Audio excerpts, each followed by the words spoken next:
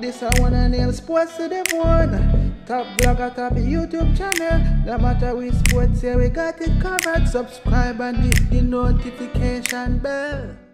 What's up, my wonderful peeps? Sports to the bone here again, man. Shout out to all the viewers, subscribers, and the followers. Big up on yourself.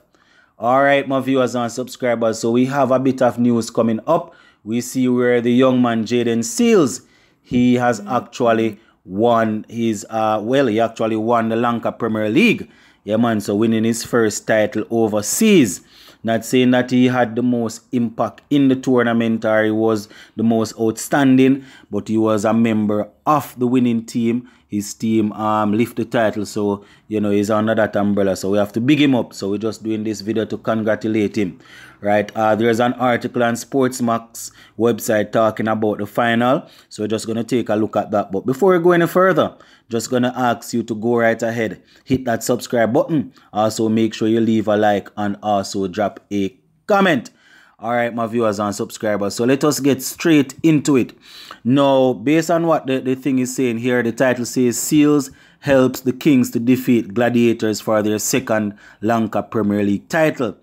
Now they, they, they say that Jayden Seales um team continue to reign supreme after defeating the Galle Gladiators by 23 runs in Thursday's final to claim their second Lanka Premier League title. Now, the Kings took first strike and got off to a good start. Yeah, man, their openers did pretty well with Avishka Fernando and um, Gurbaz getting off to a good start before, you know, one was actually dismissed in the sixth over uh, for 35 with the score on 56 for 1.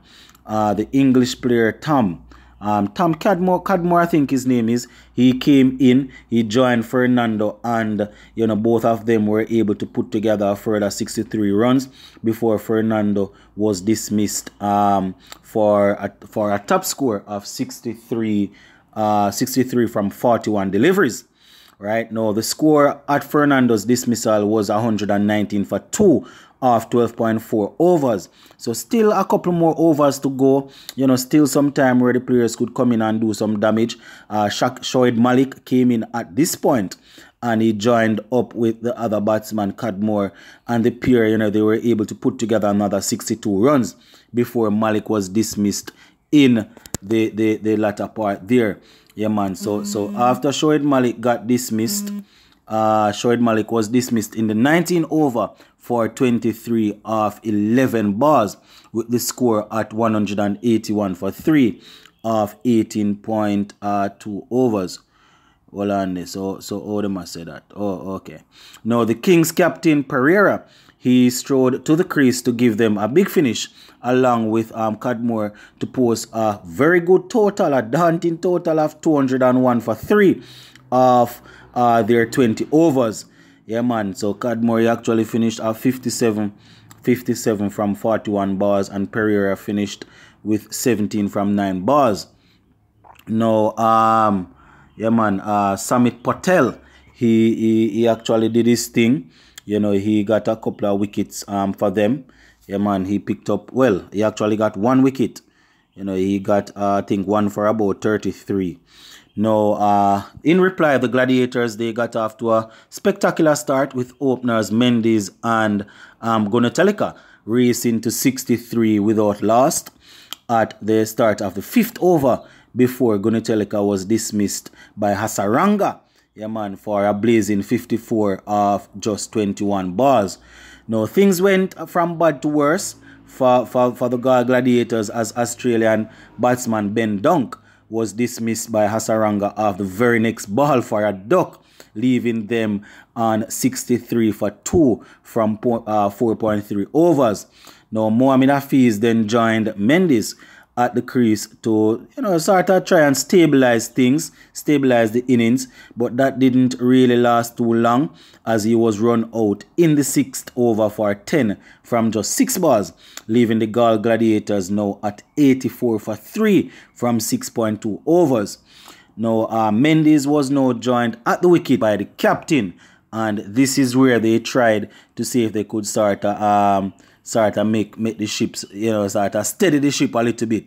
Yeah, man. But uh, You know, uh, let me see what happened here. The pair actually put together what? I think about 29 runs before the captain was dismissed for 14 from 16 balls to leave them at 113 for 4 from 10.4 overs. Now, Mendis was finally dismissed in the 14th over for 39 of 28 balls to leave the team on 129 for 5 from 13.1 overs. So, boy, my viewers and subscribers, every so they tried to see if they could bring back a um bring back something. You know, it, it was torn down again. Now, Dhananjaya and um Tharanga, they were both dismissed in quick succession. You know, so they didn't do anything. They scored move on to 143 for 7 from 15.5 overs.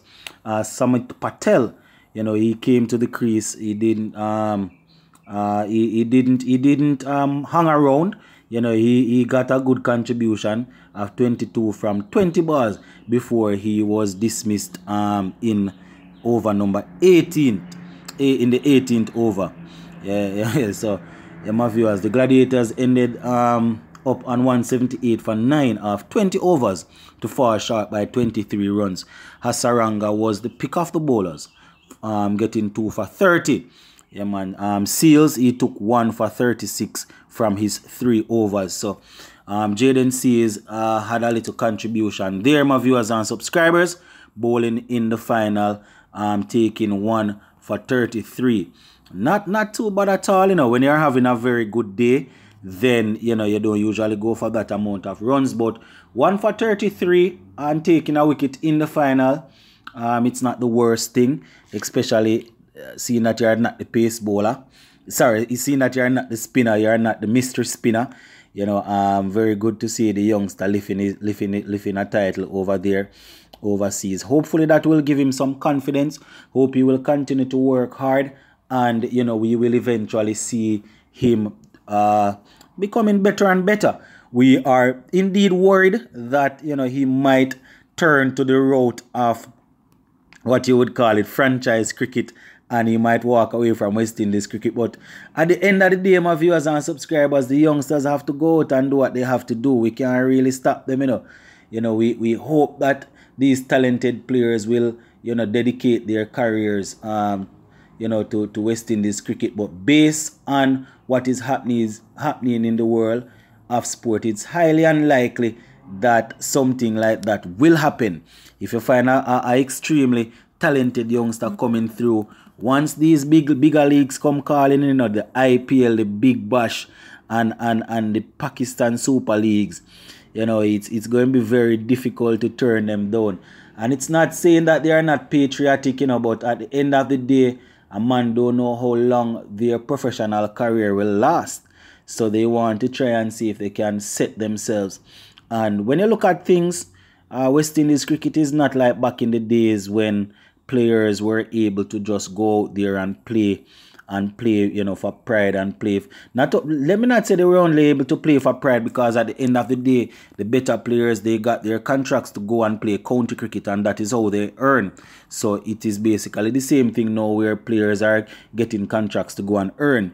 It's just that you have a lot of different leagues now. So you know, um, it's not just for one season. County cricket, you would know that a man play for a for a period of time, a specific period, and then they will return. But with these um, leagues popping up all over the world, you know, man, players are always going to take the take the initiative to go out on the front foot and see um, how best they can they can uh, play in these tournaments to provide for themselves and their family. And we can't knock them. You understand at the end of the day. We would like to see some balance, but we also understand what is happening. But yeah, that is basically it, my viewers and subscribers. Just wanted to share that with you guys. Let you all know that Jayden Seales you know, he was a member of that team that lifted the Lanka Premier League title. So, gonna leave this one right here for now, my viewers and subscribers. We might take a one or two days break off the internet thing and sort of relax and, and, and cool down for the Christmas. So just Merry Christmas to everybody when it comes and a Happy New Year once you celebrate it. You know, not all, not everybody celebrate it. So, you know, I have to say Merry, Merry Christmas to those who celebrate it. Just big up on yourself, my people.